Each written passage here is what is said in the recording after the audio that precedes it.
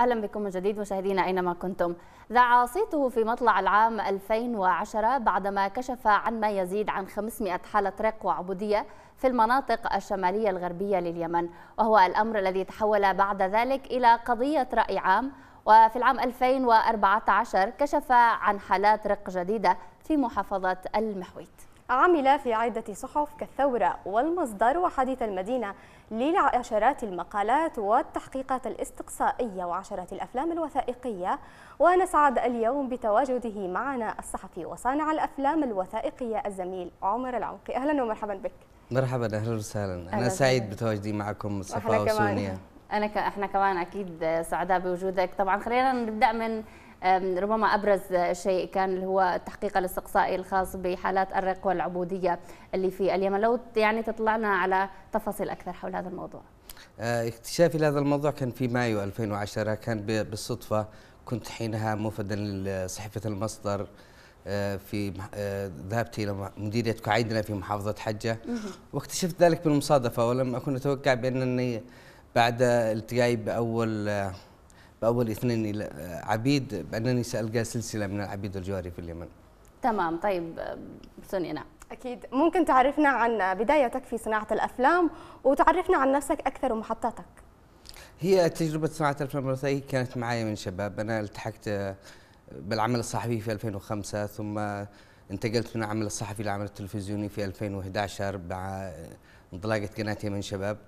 آه ثم بدأت في هذه القناة ومنها إنتاج الأفلام الوثائقية لجمهور قناة من الشباب إلى أن وصلنا إلى إنشاء وحدة متخصصة في صناعة في إنتاج البرامج والأفلام الوثائقية. تمام. أنت الآن رئيس لهذه الوحدة الوثائقية في قناة يمن شباب. يعني ما رأيك بأن تكون يمن شباب عاملة و يعني منتجة لهذا النوع من الأفلام؟ وأيضا يعني ترفد الفضاء الإعلامي اليمني التلفزيوني بهكذا أفلام. يعني ما رأيك بهذه الخطوة؟ هو هو تحدي كبير لي شخصيا ومغامرة كبيرة. خاضتها القناة بأنها تقوم بإنتاج الأفلام الوثائقية. الأفلام الوثائقية هي تجربة جديدة حديثة على على التلفزيون العالمي فما بالك بالتلفزيون العربي أو التلفزيون المحلي في اليمن. فخوضنا لهذه التجربة كانت بمثابة مغامرة لكننا يعني ولله الحمد استطعنا في منذ نشأة الوحدة وحدة البرامج والأفلام الوثائقيه إلى أن نحقق خطوات كبيرة ونقفز قفزات أفضل. استطعنا في فترة وجيزة إنتاج برامج كثيرة مثلا في العام الماضي 2021 كان لدينا في رصيد الوحدة حوالي 11 فيلم وثائقي تم عرضها لجمهور قناة يمن شباب خلال عام 2021 كذلك كان معنا في 2020 حوالي سبعة أفلام وثائقية. في 2022 هذا العام معنا عدد كمان أكبر ونحن الآن لازلنا في منتصف العام. عمر أنت عملت في صحف كثيرة ومنها صحيفة الثورة وحديث المدينة وكنت رئيس قسم التحقيقات الاستقصائية.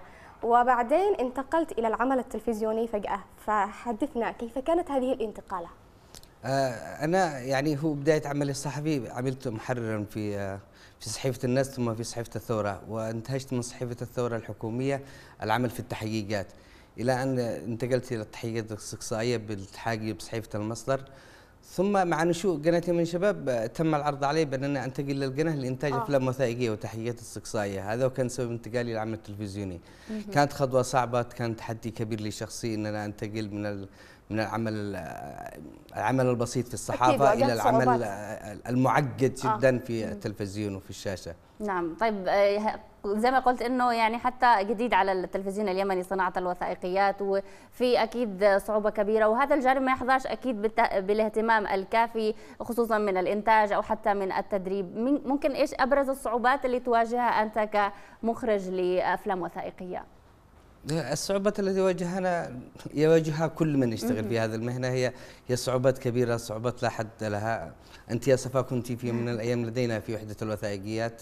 كانت من أروع تجارب العمل. اشتغلتي معنا في 2021 طوال العام و وخبرتي جيدا ما الذي يواجهه صناعة الأفلام، نحن في بلد تنعدم فيها المعلومة، تنعدم فيها فيه تفاصيل ما حدث، وإذا كان هناك ثمة رواية فهي رواية شخصية لمن يكتبها أو لمن يرويها، رواية من طرف واحد متحيز لنفسه أو للكيان أو الأطر السياسية التي يتبعها، لكننا استطعنا يعني أن نلملم ونجمع تلك الحجيات في ونعرضها للمشاهدين مثلا في فيلم بساط الريح. كنا أمام رواية لا يعرف بها أحد رواية تهجير اليهود ولا أحد يعرف بتفاصيلها بالأصح يعني إن كان هناك التعبير الأدق. لكن استطعنا في بصاد الريح إن إحنا نقدم أدق التفاصيل والمعلومات لهذه العملية. كذلك في فيلم اليهود والإمام كذلك في فيلم صانع مؤسسة الجمهورية فيلم السلال في نعم. فيلم آه، الغام الماضي عندما شبوة شوكة الميزان شبوة. يعني أفلام كثيرة لا حد لها اشتغلناها وكنا نحاول فيها إن إحنا نقدم المعلومة الادق آه، في العام الحالي الذي إحنا فيه آه، انتقلنا من من من الفيلم الوثائقي وأصبحنا نقدم الآن لدينا في هذا العام تحقيقين استقصائيين. أعتقد بانهم سيمثلان ضربة أو ضجة كبيرة وسيكون لهم أثر كبير في في الشارع اليمني سيكون لهم صدى واسع. كذلك لدينا برنامج وثائقي سيعرض من ابتداء من أغسطس إن شاء الله بشكل منتظم.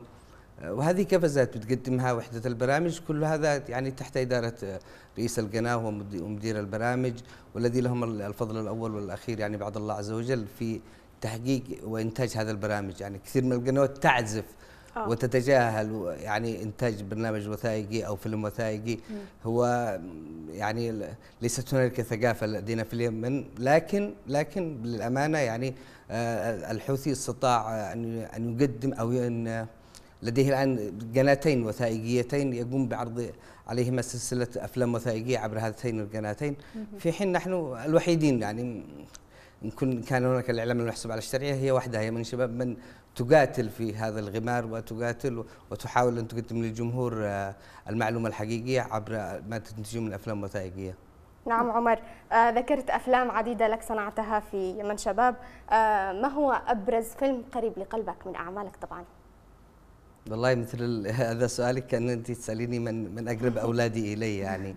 من الصعب جدا أنا كل فيلم أشتغله أقول بأنه أفضل أفلامي يعني آخر أوه. فيلم اشتغلته أقول بأن هذا أنا وصلت إلى الدرجة أن هذا هو أفضل أفلامي لكن مجرد ما أدخل في الفيلم الفيلم الجديد أفضل. يعني آه. أتجاهل الأولين تماما يعني فلا أعرف لا, لا الفيلم اللي هو كان إيش؟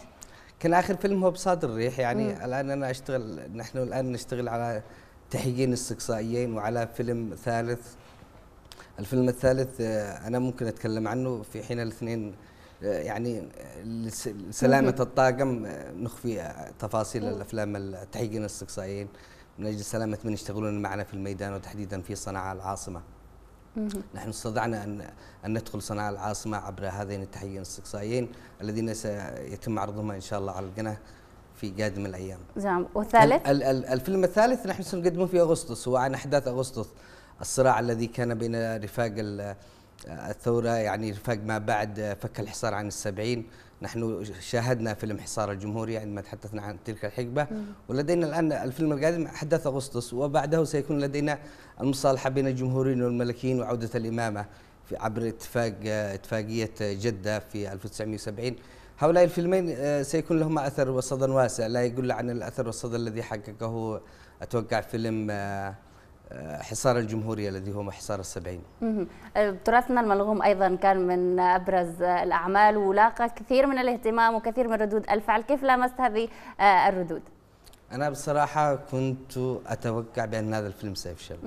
شخصيا آه، قبل عرض الفيلم كانت عندي نو يعني نوبات القلق لا حد لها. كنت قلق جدا. كنت أتوقع بأن الفيلم آه، سيقضي علي. مع انه تطرق لموضوع آه. يعني كثير من أيوة. من الناس مش منتبهين له. كنت أخشى من الجمهور فعلا مم. لأن أنا يعني أتكلم عن حاجة الجمهور بيعتبرها من المسلمات. والان أتي أقول له لا. يعني كل الذي تمارسه في عاداتك وتقاليدك وطقوسك وأعراسك وأفراحك وتعازيك ومعازيك. أيوه كل هذا يعني غلط. كل هذا لا علاقة لنا به نحن كيمنيين.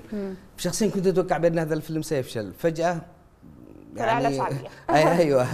يعني يعني هو هو يعني في في على مستوى اليوتيوب الفيلم الأكثر مشاهدة بالنسبة لنا إحنا داخل بالنسبة للافلام الوثائقية اللي تم عرضها في من الشباب عندما شاهد في اليوتيوب هو الاعلى مشاهدة تراثنا الملغوم وأنا كنت شخصيا بصراحة أتوقع أنه سيفشل يمكن هذا مع تزايد آه، يعني الوعي بهذه السلاله وبالتراث اللي هو الملغوم اللي بت يعني بتحاول إنها تخلي في حقها الأغاني في الأناشيد وإحنا يعني بنردده من دون وعي. طيب عمر إيش ممكن أبرز صعوبة من خلال مراحل إنتاج الفيلم؟ إيش يعني أكثر مرحلة أنت بتحس إنها صعبة؟ آه، هي المرحلة اللي أستطيع فيها النوم عندما نقوم بمونتاج الفيلم. يعني عندما أحاول أن أنام يعني من من يعمل في في المونتاج يعرف ماذا أقصد. أنه آه، يعني أنا أنام وأنا أقطع وأنا يعني أنتقل بالصورة وأجمع الصوت وأعرض الوثيقة. في تلك الفترة ممكن تمر من أربع إلى خمسة أيام لا استطيع فيها النوم فعلا بسبب آه، يعني ضغط العمل و وإلى أن أنتهي. عندما أقوم برندره الفيلم ورفعه للزميل هارون يعني في هذه المرحلة يعني أكون أكون اطمأنيت أنا كمان أود أن أقول شيئا. أنا يعني كل من يشتغل في الأفلام الوثائقية يعني يشعر بأنه هنالك ضغط يمارس عليه أو أنه أو الوقت بالأصح ليس ملكا له. أنا يعني أحيي وأشكر زوجتي وأولادي على كل الذي قدموه من أجلي. آه. إنه خلال هذه الفترة كلها صابرين علي. يعني أنا أكون بينهم لكنني لست معهم. مشغول بأفلامي الوثائقية. آه، أشكر زوجتي من هنا. أشكر كل من وقف بجنبي من من الأهل والأقارب والأصدقاء. آه، تحية لهم جميعا. تحية لمن يعمل على نقل الحقيقة وايصالها للمشاهد تحية لمن يقوم بدعم الصحفيين وبدعم بدعم إيصال الحقيقة وتوعية المجتمع. عمر إيش بيكون؟ إيش يكون؟ شعورك أول ما ينعرض الفيلم تبعك يعني؟ ومن تحب أكثر حد يشاهده؟ يعني تتمنى إنه بس شخص يشاهده. آه يعني هو آه. كل كل فيلم آه يعني له شخص أتمنى إنه يوصل إليه. يعني لا أتكلم عن شخص كفرد وإنما هي مجموعة. فأنا في هذا الفيلم آه، كان هدفي إنه توصل المعلومة أو الحقيقة إلى الفئه الفلانية أو أو الطرف طرف ما من من الجمهور اليمني وأنا استهدف الجمهور اليمني بشكل عام لكن أريد في هذا الفيلم إيصالها لهذا النوع. مثل ما كان مثلا في تراثنا الملغوم كنت أريد الإنسان البسيط. لأنه هو الضحية الحقيقي لمثل هذا الطقوس التي كانت دخيلة علينا ولا علاقة لنا بها. ردود الفعل أكيد تتنوع ربما أحيانا في بعض الأفلام خصوصا مثلا التراث الملغوم ما بين مؤيد، معارض، منتقد، مادح، كيف تتعامل مع كل هذه الردود؟ هل مثلا بتحس إنه مثلا الانتقاد بيأثر عليك؟ لا أنا بصراحة عندما أنهي الفيلم وأقوم بعرضه أنا فيه قد قلت كل شيء. فأي انتقاد آه، يعني يأتي إلي أنا أنصت إليه أصغي إليه بدقة آه، أخذه على محمل الجد. عندما يكون فيه الانتقاد آه، من أجل من أجل شيء يتعلق بالنص أو بالمعلومة أو بطريقة المونتاج أو الإخراج أو تمام. أما إنه انتقاد آه، بس آه، يعني كموضوع شخصي أو كظرف آه، يعني بيكون مناهض لرواية الفيلم فيعني هي ردة فعل أعتبرها فقط. عمر رسالة أخيرة حابب إنك توجهها لإدارة القناة وطاقم العمل تبعك والمشاهدين كمان. طاقم العمل. أنا أشكر كل من يعمل معي. يعني تحية للزملاء الأعزاء عيبان ياسين حسام الفقيه جواهر محمد الدكتور مانع السعيدي وغيرهم من الأسماء التي يعني يعني حفاظا على سلامتهم لا نقوم بالتحدث عنهم.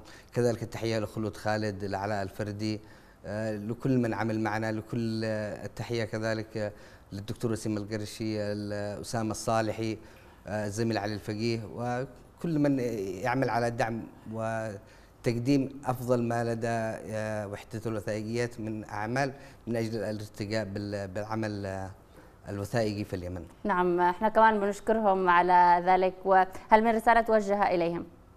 لا شكرا جزيلا. شكرا جزيلا لك عمر. العمقي الصحفي وصانع الأفلام الوثائقية. نشكرك على تواجدك معنا كنا سعداء بوجودك. يعطيك العافية. شكرا جزيلا.